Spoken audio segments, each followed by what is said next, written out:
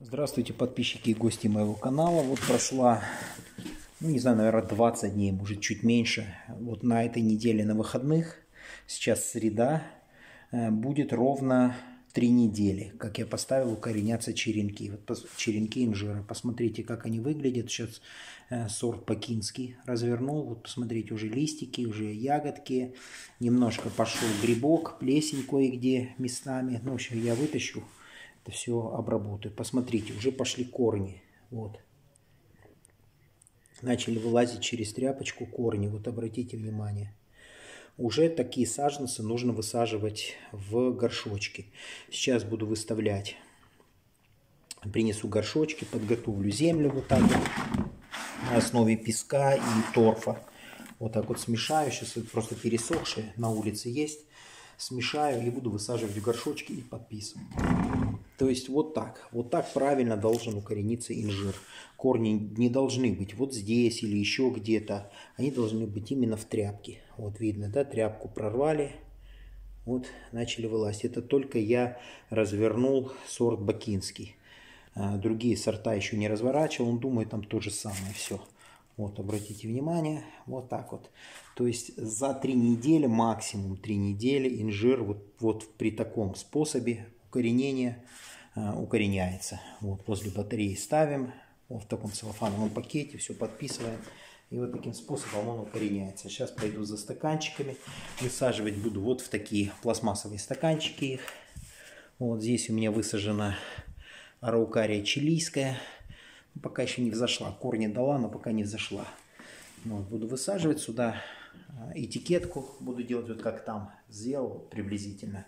Малярный скотч и Э, у меня перманентный маркер есть, черный, вот такого плана. Буду приклеивать, подписывать, высаживать, поливать хорошо. И, в принципе, э, саженцы я думаю, в течение, вот при вот таком вот способе, вот при таком способе, саженец, вот вы высадили вы в горшочек его, присыпали, хорошо полили, прям хорошо залили, чтобы вода прям вытекла оттуда, то есть промочили полностью ком. И э, верхушечку, листочки у вас будут отваливаться, потому что он укоренялся в целлофане. То есть сверху нужно будет сделать парничок. И раз в день можно будет минут на 10, на 15 парничок вот так вот открывать, чтобы листочки привыкали ну, скажем так, к открытому воздуху, к сухому воздуху, потому что они были во влажной среде, вот в таких пакетах. Ну, в общем, как-то так. Вот эти вот плоды можно сразу обломать, толку с них не будет. Вот оставляем только вот эти почки, веточки. Вот, сейчас будем высаживать их в горшочки. По поводу полива кто-то задает вопросы, вот как быть, вот мы не знаем, как поливать, у нас загнивают корни. Э, поливаю, я, как я поливаю, то есть я готовлю смесь один к одному с песком, вот покупную землю, э, универсальный грунт с песком.